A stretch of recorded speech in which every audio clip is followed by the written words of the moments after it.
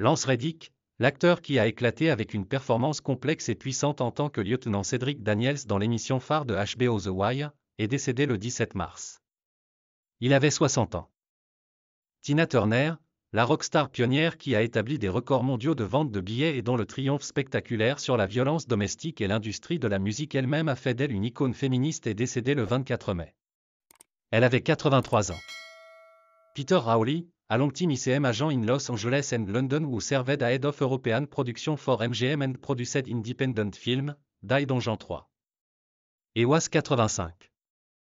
Annie Wershing, une actrice connue pour ses rôles dans les séries télévisées Bosch et 24, ainsi que pour son interprétation de Leslie Dean, la mère du super-héros extraterrestre Carolina dans Marvelous Runaway, est décédée le 29 janvier. Elle avait 45 ans. Al Jaffi, le caricaturiste pionnier et indémodable du magazine Mad, est décédé le 10 avril. Il avait 102 ans.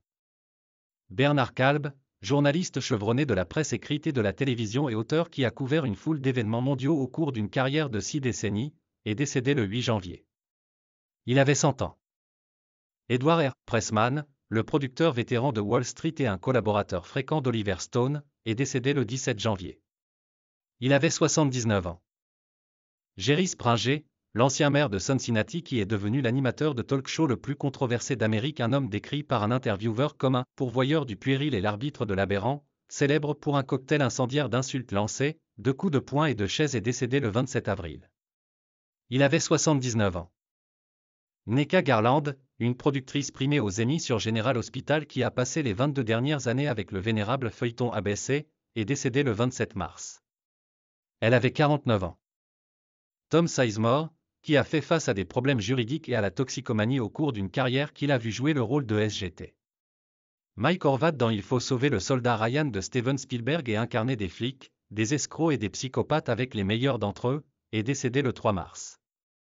Il avait 61 ans.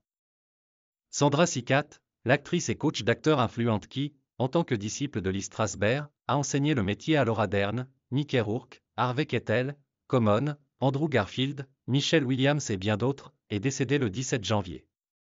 86. Noah Cowan, réalisateur vétéran de festivals de cinéma et distributeur spécialisé de films indépendants, plus récemment avec le Festival international du film de San Francisco, est décédé le 25 janvier. Il avait 55 ans. Lisa Loring, l'actrice qui a joué Mercredi Adams dans l'adaptation télévisée classique de la famille Adams, est décédée le 28 janvier. Elle avait 64 ans. Gregory Allen Howard, qui a écrit Remember the Titan et était producteur et écrivain derrière Harriet, est décédé le 27 janvier. Il avait 70 ans.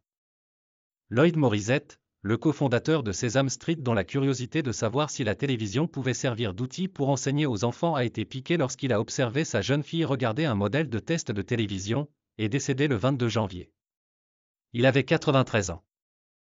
Howard Bragman, un géant des relations publiques qui a aidé à guider des clients vedettes aux prises avec un dilemme tout en devenant un expert en relations publiques de crise et un défenseur clé des droits LBGTQ, est décédé en février. Il avait 66 ans. Raquel Welch, le sexe symbole aux yeux en amande qui a transformé un bikini en peau de daim en l'une des images cinématographiques les plus emblématiques des années 1960, est décédé le 15 février. Elle avait 82 ans. Jeff Beck, l'un des plus grands guitaristes de tous les temps qui s'est fait connaître dans le groupe de rock anglais The Yardbirds, est décédé le 10 janvier dans un hôpital près de chez lui à Surrey, en Angleterre. Il avait 78 ans.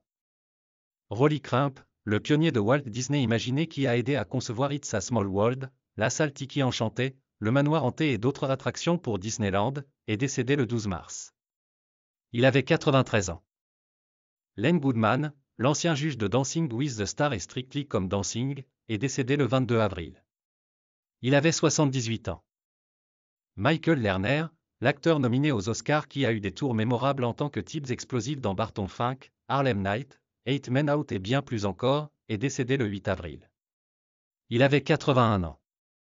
Francesca Capucci, qui a passé plus d'une décennie en tant que journaliste de divertissement et de musique populaire à Cap TV à Los Angeles, est décédée le 30 mars.